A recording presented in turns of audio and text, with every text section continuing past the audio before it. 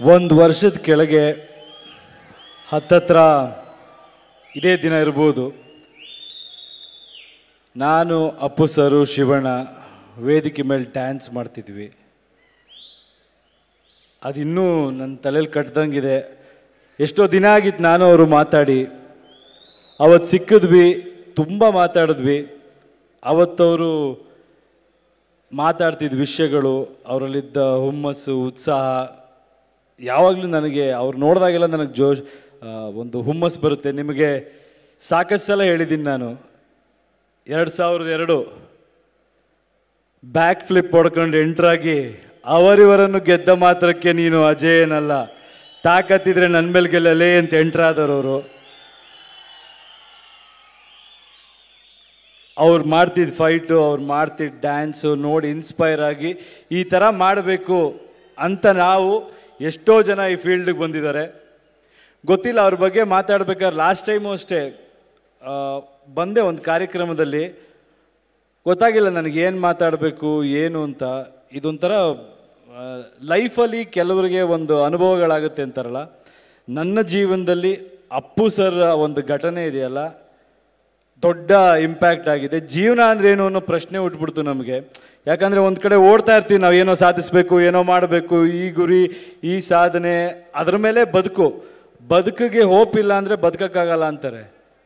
But ಏನು hope ಇಟ್ಕೊಂಡ್ರು ಬದುಕು ಎರಡು ಸೆಕೆಂಡಿಗೆ ನಮ್ಮ ಜೊತೆ ಇಲ್ಲ ಅಂದಾಗ ಅದನ್ನು ಹೆಂಗೆ ಡೈಜೆಸ್ಟ್ ಮಾಡ್ಕೊಳ್ಬೇಕು ಗೊತ್ತಾಗಿಲ್ಲ. ಬಟ್ ಆದರೆ ಈ ಅಭಿಮಾನಿ ದೇವರುಗಳಿದಾರಲ್ಲ, ನೀವುಗಳು ತೋರಿಸೋ ಪ್ರೀತಿ, ನೀವು ಅವ್ರಿಗೆ ಸಲ್ಲಿಸ್ತಿರೋ ಗೌರವ ಅವ್ರನ್ನ ಜೀವಂತವಾಗಿ ಇಟ್ಟಿರೋ ರೀತಿ ಪ್ರತಿಯೊಬ್ಬರಿಗೂ ಒಂದು ಹುಮ್ಮಸ್ ಕೊಡುತ್ತೆ, ಒಂದು ಉದಾಹರಣೆ ಕೊಡುತ್ತೆ. ಅಪ್ಪು ಅವ್ರ ಜೀವನ ನೋಡಿದ್ರೇ ನೀವು ಯೋಚನೆ ಮಾಡ್ಬೋದು, ಅವ್ರು ಹುಡ್ತಾ ಯಾವಾಗ ಹುಟ್ಟಿದ್ದಾರೆ ಅಂದರೆ ಅಣ್ಣವರು ಒಂದು ಪೀಕಲ್ಲಿರೋ ಟೈಮಲ್ಲಿ ಅವ್ರು ಹುಟ್ಟಿದ್ದಾರೆ. ಯೋಚನೆ ಮಾಡಿ, ಡಾಕ್ಟರ್ ರಾಜ್ಕುಮಾರ್ ಅವರ ಚಿಕ್ಕ ಮಗ ಶಿವಣ್ಣ ಇರ್ಬೋದು, ರಾಗಣ್ಣ ಇರ್ಬೋದು, ಅವ್ರ ಮನೇಲಿ ಎಲ್ಲ ಅಕ್ಕ ತಂಗಿಯರು ಎಲ್ಲರ ಜೊತೆ ಒಂದು ಪುಟ್ಟ ಹುಡುಗ ಹುಟ್ಟಿದ್ರೆ ಎಷ್ಟು ಪ್ರೀತಿ ಸಿಕ್ಕಿರ್ಬೋದು ಯೋಚನೆ ಮಾಡಿ. ಅಷ್ಟು ಪ್ರೀತಿ ಹುಡ್ದಾಗಿಂದನೇ ಪಡ್ಕೊಂಡು ಬಂದಿರೋ ಜೀವ ಅದು. ಅದಾದಮೇಲೆ ನನ್ನ ತಂದೆ ತಾಯಿಗೂ ನನ್ನ ಮಗ ಅನ್ನೋ ಫೀಲಿಂಗು ಅದೇ ರೀತಿ ಇಡೀ ಕರ್ನಾಟಕಕ್ಕೆ, ಕರ್ನಾಟಕದ ಮಗ ಅನ್ನೋ ಫೀಲಿಂಗು ಅಪ್ಪವ್ರಿಗೆ ಮಾತ್ರ ಸಿಗೋದು. ಚಿಕ್ಕ ಮಗುವಿಂದ ಅವ್ರನ್ನ ನೋಡಿದ್ದೀವಿ ಆ ಮಗುಲಿದ್ದ ನಗು ಇವತ್ತವರೆಗೂ ಇದೆ. ಅಂಥ ಒಂದು ಯೋಗದಲ್ಲಿ ಹುಟ್ಟಿರುವಂಥ ವ್ಯಕ್ತಿ ಆ್ಯಕ್ಟ್ ಮಾಡ್ತಾರೆ, ಸ್ಟಾರ್ ಆಗ್ತಾರೆ, ಎಲ್ಲ ಆಗ್ತಾರೆ. ಬಟ್ ಅವ್ರ ತುಡಿತ ಯಾವ ಕಡೆ ಇತ್ತು ನೀವು ಅಬ್ಸರ್ವ್ ಮಾಡ್ತಾ ಬಂದರೆ, ನಾನು ಒಂದು ಸಿಂಪಲ್ ಎಕ್ಸಾಂಪಲ್ ಹೇಳ್ಬಿಡ್ತೀನಿ. ಅವ್ರ ಜೊತೆ ಸುತ್ತ ಇರ್ತಿದ್ದ ಫ್ರೆಂಡ್ಸ್ಗಳ ಜೊತೆ ಅವ್ರ ಕಾಲ ಕಳಿಯೋಕೆ ಇಷ್ಟಪಡ್ತಾ ಇದ್ರು. ಎಲ್ಲ ಗೊತ್ತಿತ್ತು ಅವ್ರಿಗೆ.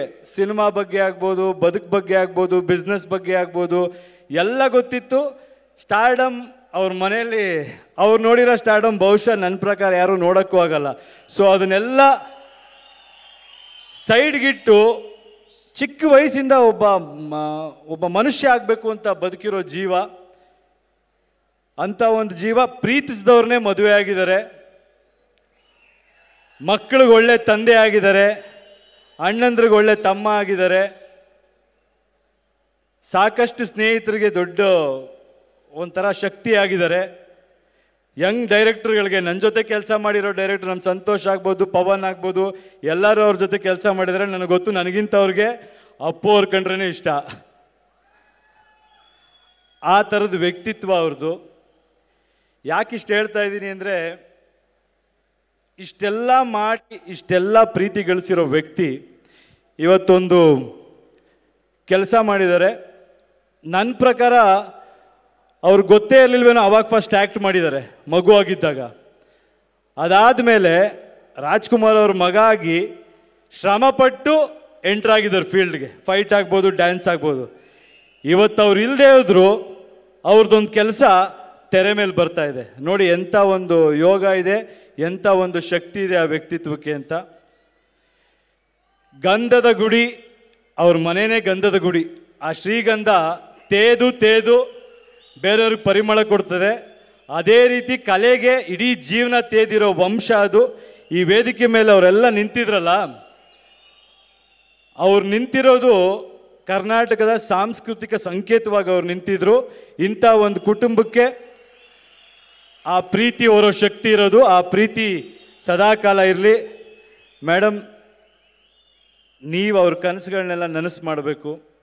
ನನಗೆ ಗೊತ್ತು ಅವ್ರು ನಿಮ್ಮಲ್ಲಿ ಹೆಂಗೆ ಶಕ್ತಿ ತುಂಬಿದ್ದಾರೆ ಅಂತ. ನಿಮ್ಮನ್ನು ಯಾಕೆ ಪ್ರೊಡ್ಯೂಸರ್ ಮಾಡಿರಿದ್ದಾರೆ ಅನ್ನೋದು ನಮ್ಗೆ ಅರ್ಥ ಆಗುತ್ತೆ. ಏನಿತ್ತು ಅವ್ರಿಗೆ ಗೊತ್ತಿಲ್ಲ ಬಟ್ ಅವ್ರ ಹೆಸರು ಯಾವಾಗಲೂ ಇರಬೇಕು, ಆ ಥರ ಕೆಲಸಗಳು ಮಾಡಬೇಕು. ನಾವೆಲ್ಲ ನಿಮ್ಮ ಜೊತೇಲಿದ್ದೀವಿ ಮೇಡಮ್ ಇಡೀ ಕರ್ನಾಟಕ ನಿಮ್ಮ ಜೊತೇಲಿರುತ್ತೆ ಈ ಪಿಕ್ಚರು ಎಲ್ಲ ರೆಕಾರ್ಡ್ ಧೂಳಬೇಕು ಕೆ ಜಿ ಎಫ್ ಇರಬಾರ್ದು. ಅರ್ಥ ಆಯ್ತಾ? ಮನೆ ಮನೇಲಿ ಪ್ರತಿಯೊಬ್ಬರು ಹೋಗಿ ನೋಡಬೇಕಾಗಿರೋ ಸಿನಿಮಾ ಇದು.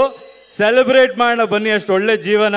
ನಮಗೆಲ್ಲ ಏನೋ ಸಾಧನೆ ಏನೋ ಅಂತಿರ್ಬೇಕಾದ್ರೆ ಇದು ಕಣ್ರಯ್ಯ ಸಾಧನೆ ಅಂತ ತೋರಿಸ್ಕೊಟ್ಟು ಹೋಗಿದ್ದಾರೆ. ಅವ್ರು ಒಳ್ಳೇದಾಗಲಿ, ಆ ಒಂದು ಉದ್ದೇಶಕ್ಕೆ ಒಳ್ಳೇದಾಗಲಿ. ಎಲ್ಲರೂ ನೋಡಿ ಸಿನಿಮಾ ಆಶೀರ್ವದಿಸಿ. ಆ್ಯಂಡ್ ಇಲ್ಲಿ ಬಂದಿರುವಂಥ ಎಲ್ಲ ಗಣ್ಯರಿಗೂ ನಾನು ಥ್ಯಾಂಕ್ಸ್ ಹೇಳ್ತೀನಿ. ಆ್ಯಂಡ್